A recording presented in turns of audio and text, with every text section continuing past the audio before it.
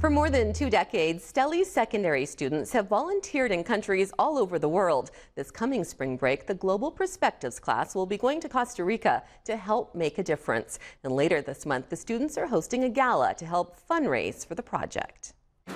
These Stelly secondary grade 12 students are getting ready to make a big difference. The Global Gala is the biggest fundraiser that we do at Stelly's. It's all for a giant humanitarian project. This is actually our 22nd Global Gala, so we're super excited.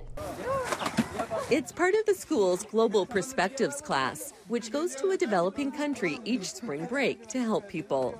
This year we're going to Costa Rica and we're going to be working alongside farmers doing an agricultural project, just helping them on their farms and volunteering.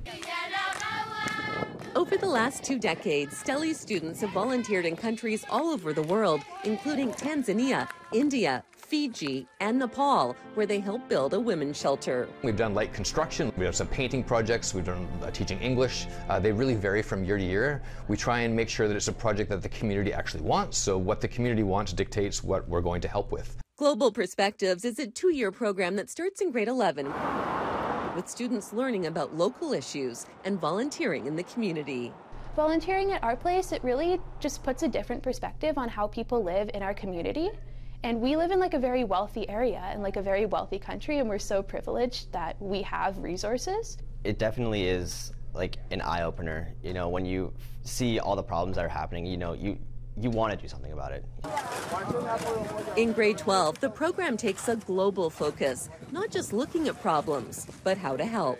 I've always been really passionate about helping people, and sometimes a lot of classes we do here, it's hard to find ways to do that, and it just opened up a lot of opportunities to volunteer and help in the community and on a global scale there's like a like a special feeling that you get from volunteering where you know like you made a difference and you really might have made somebody's day. It's just a really good feeling. The Global Gala is November 23rd, and students are hoping to raise at least $12,000. Tickets are $15 and available at the door. Vital People, brought to you by the Victoria Foundation, connecting people who care with causes that matter.